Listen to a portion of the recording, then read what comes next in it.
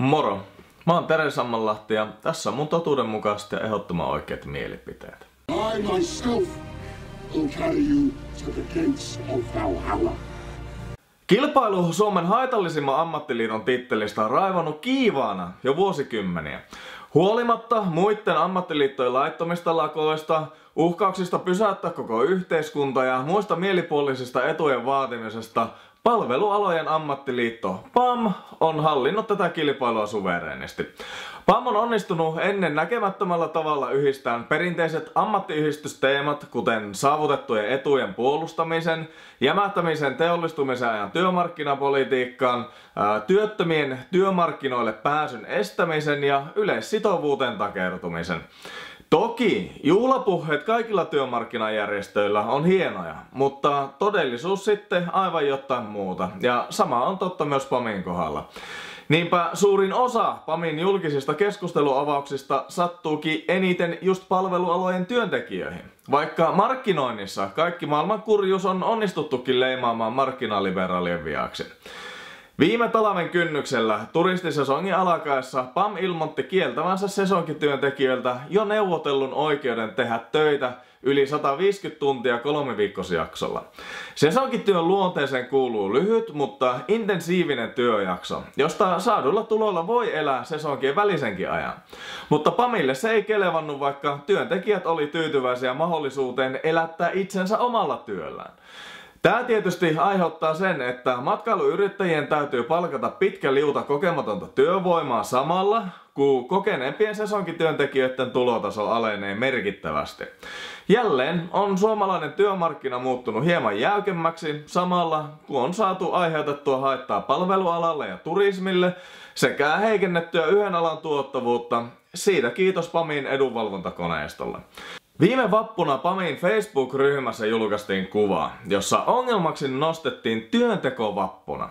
Satojen tuhansien suomalaisten ollessa kroonisen työttömiä uhreja, tämä edunvalvontajärjestö yrittää esittää pyhänä töissä käyvät jonain marttyyreina.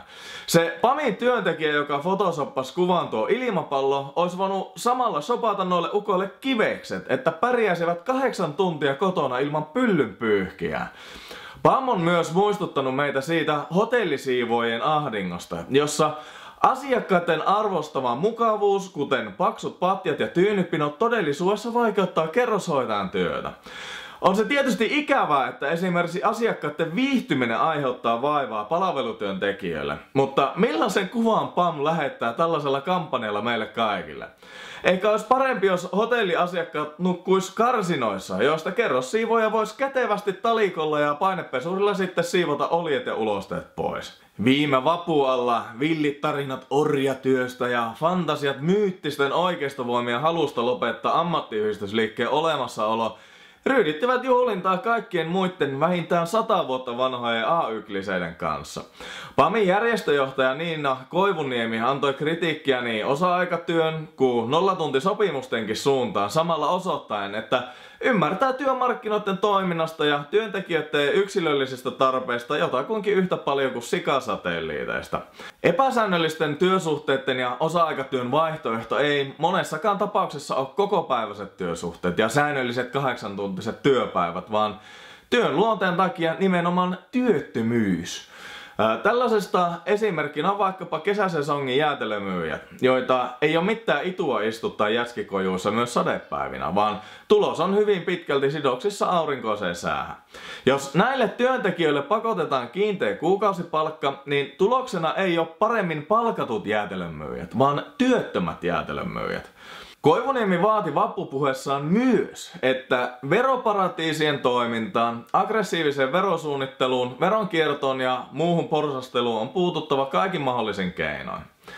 Niinpä, mutta kuinka uskottavia nuo vaatimukset on, kun AY-liikkeen vuokra-asuntokeinottelulla sekä verosubventioilla paisutettu omaisuus on verottajalta piilossa? Tämä kaksinaismoraalin leimaama AY-retoriikka ei ole sinällään uutta, mutta yllättävää on se, että niin moni valittaa katsoa tätä räikeä kaksinaismoraalia läpi sormiensa. Keskon ostettua Suomen lähikaupan liiketoiminnan ja muutettua Sivat sekä valintatalot K-Marketeiksi, ymmärrettiin työntekijäpuolella hyvin nopeasti, että muutos on loistava mahdollisuus asiakasmäärien ja myynnin lisääntyessä. Mutta poteronsa pohjalla lymyilevässä Pamissa ei annettu elämän realiteettien taaskaan häiritä aatteellista työtä. Pamin neuvontapäällikkö Juha Ojala sanoi olevansa huolissaan siitä, että kauppias vetoisessa liiketoiminnassa yrittäjä tekee itse töitä omassa kaupassaan ja työllistää mahdollisesti perheenjäseniä ja näin mukaan tuhoaa työpaikkoja. Mihin niitä työpaikkoja mukaan katoaa, jos yritystoiminnasta omalla henkilökohtaisella omaisuudellaan vastaava yrittäjä perheineen työskentelee omaa yrityksensä hyväksi. Ja millä logiikalla Pamin Politrukin mielestä parhaat yrittäjät on heitä, jotka kohtelee työntekijöitä kuin perheenjäseniä, mutta huonoimpia taas ne, joiden perheenjäsenet työskentelee samassa yrityksessä. On aivan selvää, ettei PAMin joholle jäsentensä etu merkitse yhtään mitään, vaan AY-eliitti on valmis murskaa jalkoihinsa armottaneen työntekijät, yrittäjät kuin työttömätkin, kunhan järjestön hallintokoneisto voi hyvin. Viimeisin tyylinäyte tuli yllätys yllätys Anseliniltä. Nyt palkkaneuvottelujen alla, kun hän totesi, että palkkojen pitää nousta vaikka yrityksiä menisi konkurssiin. PAMin liittojohto on siis valmis jopa syrjättää palvelualojen työntekijöitä työelämästä, jos neuvottelussa saadaan nostettua omaa häntää ees vähäsen. Tämä todistaa vaan sen, ettei Anselin ymmärrä kysynnän ja tarjonnan lakiin nojaavasta markkinamekanismista tuon taivaallista. Eikä hänellä näin ollen tulisi olla mitään roolia missään työmarkkinoita tai elinkeinoelämää koskevissa neuvotteluissa. AY-johtajien tilanne on tietysti tukalla tässä kiihtyvällä vauhilla muuttuvassa maailmassa. PAMin johtajat esimerkiksi istuu lähes 100 vuotta vanhoissa teollistumisen ajan työmarkkinapoteroissa kuseemassa matalapalkkaisten työntekijöiden kulhoihin samalla uskotelle heille, että kohta on tarjolla maukkata muroja.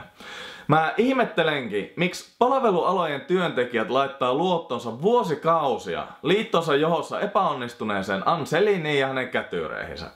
Enkä mä toisaalta uskokaan, että PAMin jäsenet varsinaisesti luottaa liittojohtoonsa, mutta puoluekirjan ja poliittisten suhteiden perusteella valtansa betonoinen AY-elitin vaihtaminen liittokokouksessa lienee yhtä helppoa kuin Kim Jong-unin syrjäyttäminen Korean työväenpuolueen johdosta. Mä haluan vielä tehdä selväksi sen, että mä vastusta työntekijöiden tai työnantajien järjestäytymistä.